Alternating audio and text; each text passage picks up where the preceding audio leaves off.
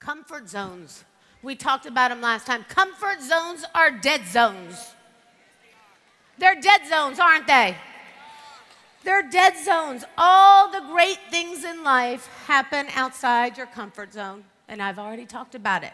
So I'm not going to talk about it again, but I want to remind you you don't need to figure out here. If you're confused about what a comfort zone is, it's what you're already maybe doing. You keep saying, every day I'm going to do it tomorrow. Every day I plan to do something, and you never get it done. Why? Because the couch is calling your name, the chair is calling your name, the remote control is calling your name. You're tired. You want your wife to cook for you. You want your husband to cook for you. Oh, it's more important to go to the big party at night. Who cares about the party? Who cares about your friends who are there just to complain because they want you to stay down with them?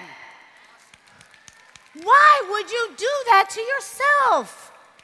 It's self destruction. Bye, Felicia. That's right. Bye, Felicia. That's right, baby. You got to get out of your comfort zone and you got to know your why, right, Eric? You got to know your why. Why are you here? What is it that you love most in life? What are you passionate about? What drives you?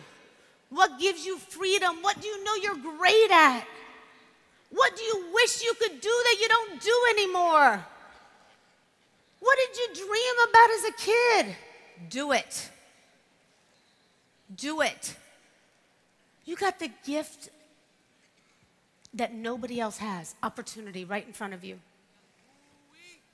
Most people never see it. And if it's ever been given to them, they'll say it wasn't.